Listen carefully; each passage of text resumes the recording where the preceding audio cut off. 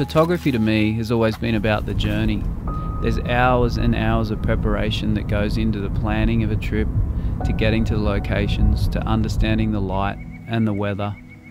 But the best result out of all of the journey for me is seeing a huge print with massive detail and incredible colour.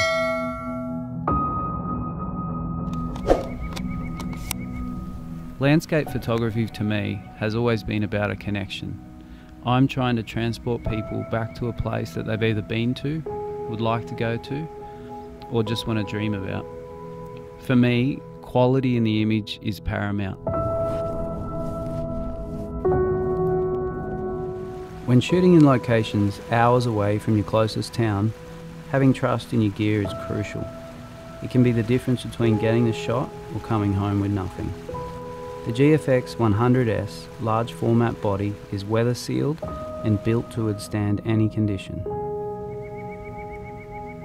With the ability to be able to walk around with over 100 megapixels on my shoulder, to be able to walk into remote locations with less gear but come out with a better result is a huge advantage. With the built-in image stabilization, I can shoot handheld at lower shutter speeds, which opens up more possibilities. The Pixel Shift multi-shot has given me the ability to get a 400 megapixel file and print with more detail than I could have ever imagined. It's a complete game changer.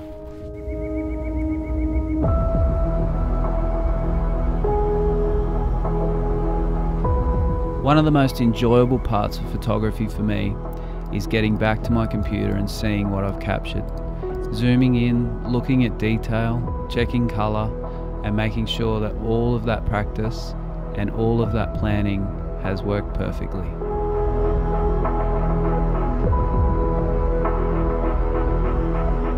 I want people to be transported into my world, and for me, that completes the photographic journey.